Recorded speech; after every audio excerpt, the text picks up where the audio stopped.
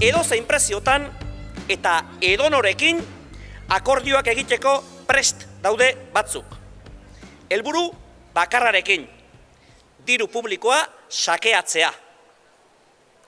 Hoien aurrean, EH Bildu osatzen dugun lagunak gardentasuna eta zintzotasunaren eredu gara. Eta inor ez dadila, isiltasunaren legea ezartzen saiatu, ez gaituztelako isilduko, alferrik dabiltza, ez gaituzte isilduko, trapuzarrak ateratzen jarraituko dugu.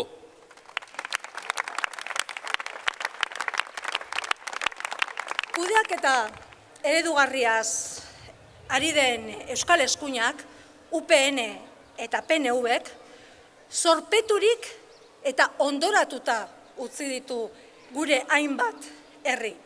Adibidez, Agurain, Agoitz, Dima, Mutriku bera, hemendik oso hurbil dagoen herriska lezaka edo eta urduña.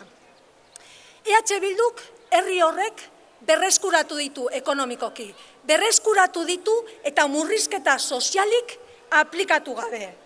Eskuinak eragindako kalteak konpontzen ari gara.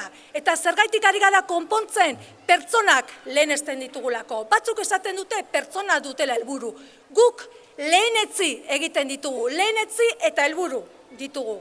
Guk ez dugu botereri nahi, guk oso argi daka guk ez dugula botereri nahi. Guk nahi dugu herrizak berreskuratzia boteria. Eta boteria herritxarrei emotia. Eta eibarren kasuan eibartarrei emotia boteria.